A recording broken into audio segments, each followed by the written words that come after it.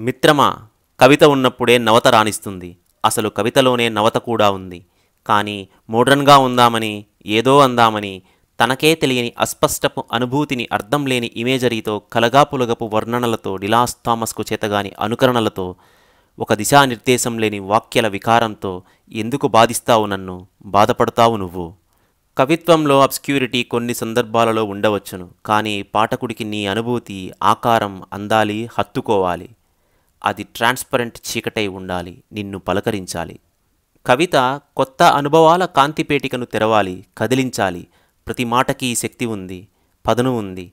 ప్రతి చిత్రణకి అర్థం ఉంది ఔచిత్యం ఉంది. గులకరాళ్ళ డబ్బా మోగించి గొప్ప సంగీతం అని దబాయించకు అలిగి నన్ను శపించకు. అన్నా నీ మీద నాకు కోపం లేదు. గంతలు కట్టినంత మాత్రాన గాడిద గుర్రం కాదు. కద్దరు ధరించిన ప్రతివాడు గాంధేయుడు కాడు. ఆధునికత ఉన్నంత మాత్రాన ప్రతిదీ శిరోధార్యం కాదు. ఆహార్యం మార్చినంత మాత్రాన సామాన్యుడు మహారాజవడు. అంత్యప్రాసలు వేసినంత మాత్రాన ప్రొసైక్ భావం పొయిట్రీ అవదు. కవిత్వం ఒక ఆల్కెమీ. దాని రహస్యం కవికే తెలుసును. కాళిదాసుకు తెలుసు పెద్దన్నకి తెలుసు కృష్ణశాస్త్రికి తెలుసు శ్రీశ్రీకి తెలుసు. ఈ కాలంలో బ్రతుకు ఈ ప్రపంచాన్ని ప్రతిఫలించు. ఇంటికున్న కిటికీలన్నీ తెరిచి అన్ని పవనాల్ని ఆహ్వానించు. నువ్వు చెప్పేదేదైనా నీదై ఉండాలి నీలోంచి రావాలి చించుకొని రావాలి. మాటలు పేర్చడం కవిత కాదు మంత్రం తంత్రం అసలే కాదు.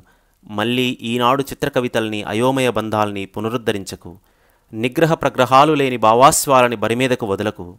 అన్న కవిత్వం అంతరాంతర జ్యోతిస్సీమల్ని బహిర్గతం చెయ్యాలి. విస్తరించాలి చైతన్య పరిధి. అగ్ని జల్లినా అమృతం కురిసినా అందం ఆనందం దాని పరమావధి.